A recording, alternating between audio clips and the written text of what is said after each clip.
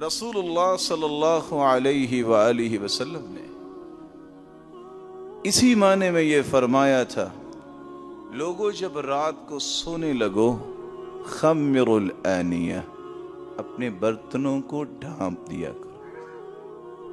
برتنوں کو ڈھانپ دیا کرو۔ ولو بعود۔ ڈھانپنے کے لیے کوئی چیز نہیں، لکڑی اوپر رکھ دو۔ کیوں؟ ما من دائن کوئی بھی بیماری جو آسمان سے اترتی ہے، بلائیں اترتی ہیں، جو برتن ڈھکا ہوا نہیں ہوتا، اس کے اندر چلی جاتی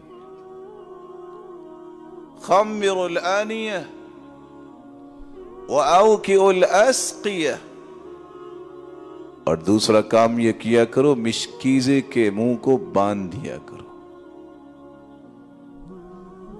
وعجيف الابواب. جب سونے لگو تو دروازے بند کر کے سویا کرو۔ وكفوا صبيانكم عند الْعِيشَاءِ وفي روايه أخرى. إذا جنح الليل مغرب سے عشاء کا وقت ایسا وقت ہے فان للجن انتشارا وخطفه. اس وقت جن جو ہے وہ پھیلتے ہیں اور اچکتے ہیں جس کو اچکنا ہو اس لیے مغرب کی آزان کے بعد اپنے بچوں کو پکڑ لیا کرو ان کو باہر نہ بھیجا کرو۔ وَأَطْفِعُ الْمَصَابِيحِ عِنْدَ الرُّقَادِ۔ جب سونے لوگو تو چراغ بجھا دیا کرو۔ کیوں بجھا دیا کرو؟ فإن الفويسقة اجترت الفتيلة فأحرقت أهل البيت آج تو وقت بدل گیا۔ چراغ لوگ جلایا کرتے تھے۔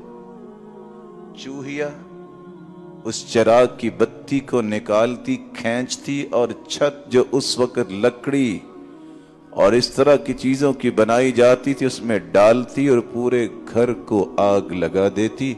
اس لیے چوہیا کو بھی رسول اللہ صلی اللہ علیہ وسلم نے فوائی سقا کہا ہے، جو فاسق سے ہے، فسق سے ہے۔